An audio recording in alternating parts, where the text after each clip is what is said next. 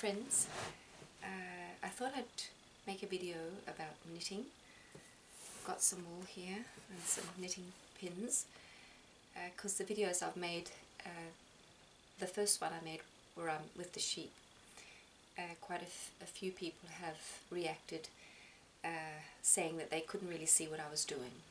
So I'll show you the Danish knitting and and uh, I'll make a little series because I'd like to show you a bit about my jumpers and how you can make a jumper or anything really uh, and make your own pattern. So it's good of course to be to know how to knit but I mean I believe you can learn anything if you if you just go for it. So let's do some knitting. Okay, so I've got this basket here and it's just uh, different types of homemade wool. And let's just take a thick one. Uh, it's not so it's a little bit dirty this one. This one I have actually washed.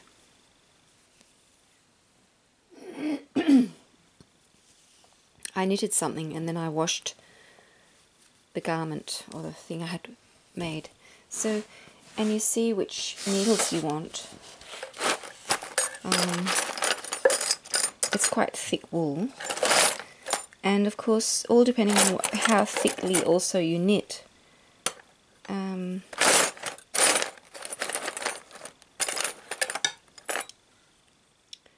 I think this is actually probably a good one, number four. There we go. So uh, let's do this Just see if I can get the camera better. Here we go. Now first you just make a loop. Oh, my nail's not very clean. it's working hands. Like this. And then put the pins in and you go like this. Two fingers in and then close around and then go down like that. And keep them quite tight. And then you go under this and over this and through that hole and you pull and the reason why you're using two is because if you only use one, it's going to be too tight. Here we go again.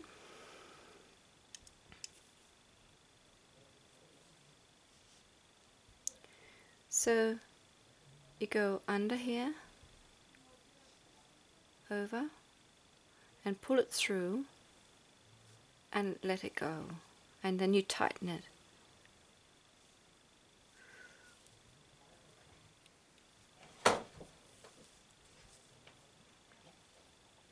Show it again. Put your fingers in like that. Hold. And then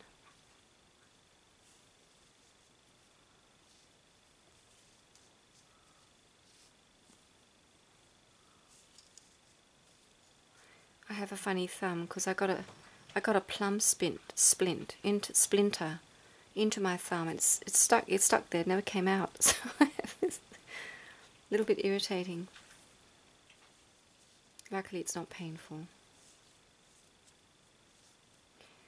So when you're doing this yourself, if you have a pattern and you know exactly uh, which type of wool you want to use and you buy the wool, it, of course a lot of things are easier, but when you're doing it yourself, and especially with hand spun wool, you, you'll have to try a few times to see how how the tension is and how you want it. So we're just going to make a square now.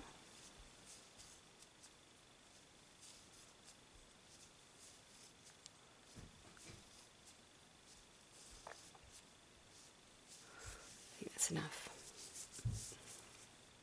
And carefully you pull one out and you turn it. And I'll just see if I can move. Okay, I got a I got a five. That's better because these were a bit too thin.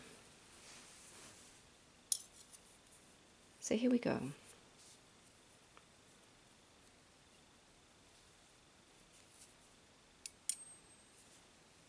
You have the end.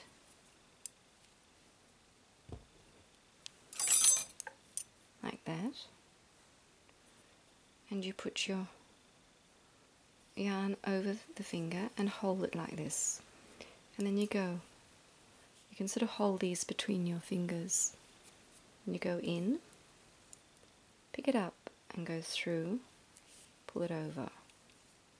So in and you sort of have to hold these back so you go in pick it up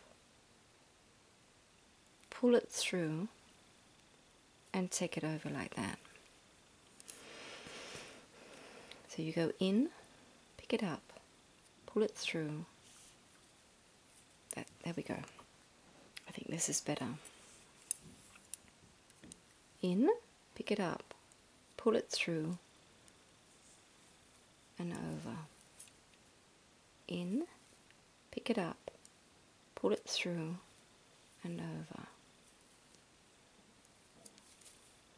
in, pick it up, pull it through and over.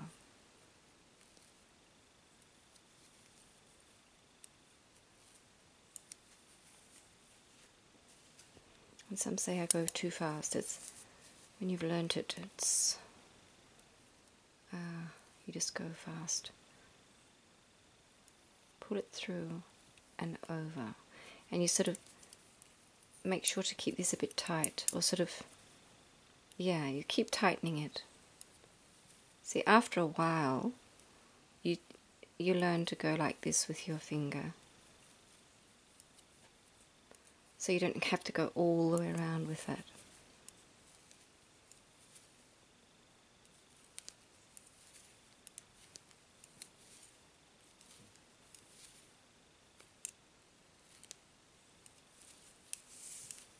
So I call this the Danish style, but it's not. Well, it is, but it's the continental, it's called. And it's a lovely way to knit. It's very relaxing and it can be very, very fast. So there we go. Now we'll turn around, and this is the this is our uh, what do you call it?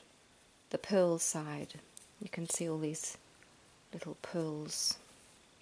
So we're going to just do another one with just straight knit again.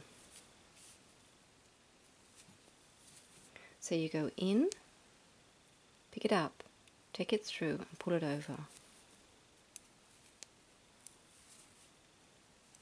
Oh wait a sec, I didn't oh, I didn't get the right one.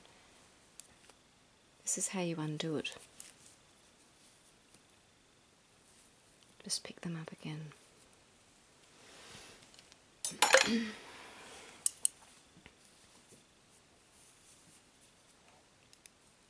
so you go in, pick it up.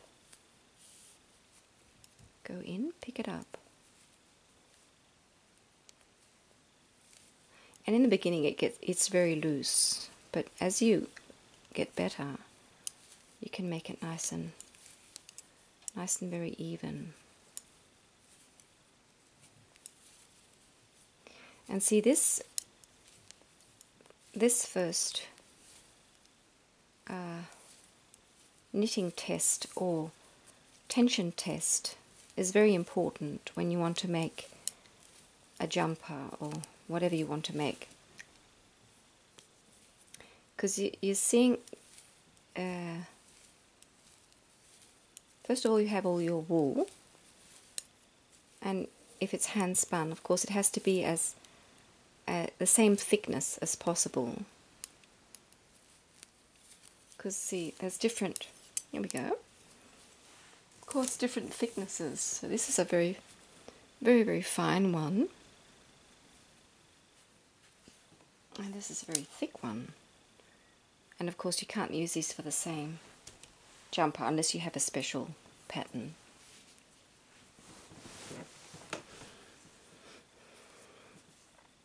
So now I've shown this before, but let's do it again. This is a row of purl.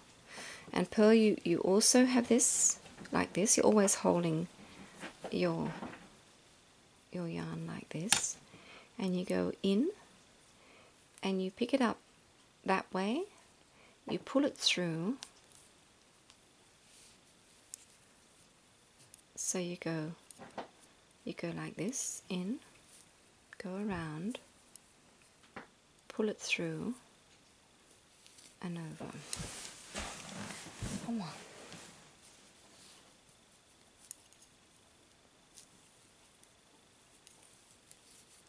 And you sort of tighten a bit, but not too much, of course.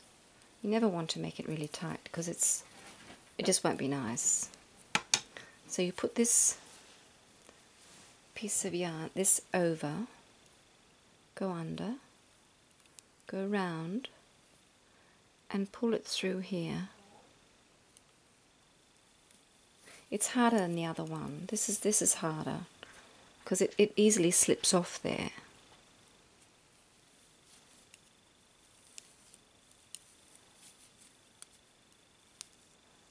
Over, through, and tighten. In, over, through, and tighten. In, over, through, and tighten. In, in, over, through, and tighten. And of course, this, this stitch comes off as you pull, it comes off this one.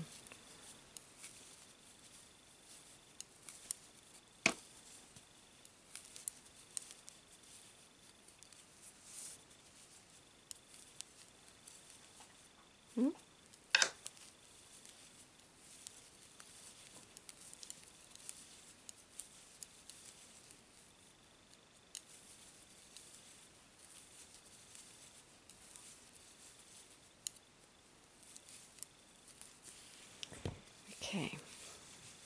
It's good to have this in the bottom because otherwise it's going to curl up as you go. I'll do a row of, of knit again. So in, over, pull it through and over. In,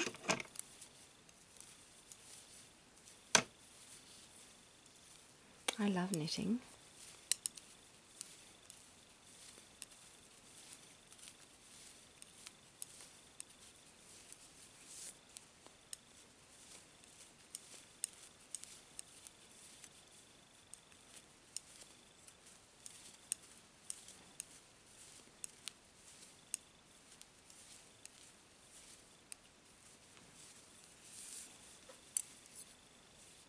Could have done a few more of the. This is rows of uh, just per uh, just doing uh, knitting. Just just knit every time you turn. It's no uh, although it looks like purl. It's a good idea to actually do a few more. So I'll just keep going and I'll come back.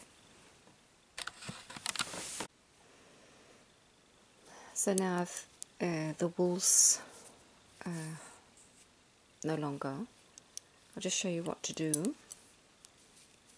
So you want to keep going, so you take your your wool, the other end here, and you just put it on here, and just hold it, and do a knit, just knit a few stitches, and then you tie, you can tie a knot. This is just make it stick together. Just tie it together, just loosely, not not uh, tight. And then you, when you finished the work, you sew them in here. And you can actually take the knot off, but this is just to hold it together so there's not a big hole there. and you keep going.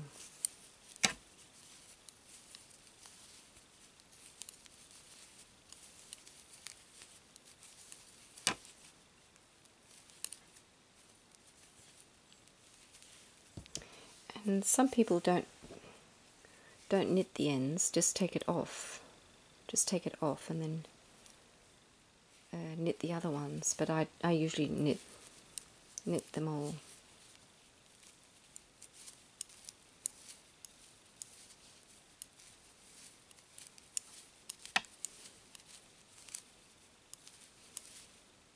Well, here we come to the spot with the knot. Just, just keep that a little bit tight there to make sure that you don't end up with a hole there. As if you're making something very beautiful, you often you'll just make sure it's at the end there. You change the wool